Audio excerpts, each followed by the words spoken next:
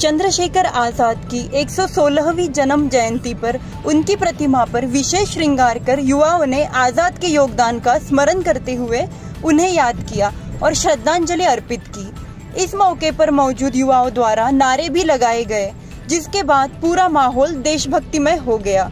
इस मौके पर भंवर सिंह चौहान, भरत सिंह, घनश्याम सिंह जमुनालाल सालवी, मनोज खांडेला, महेंद्र राव और सूरज सालवी सहित अन्य लोग मौजूद रहे।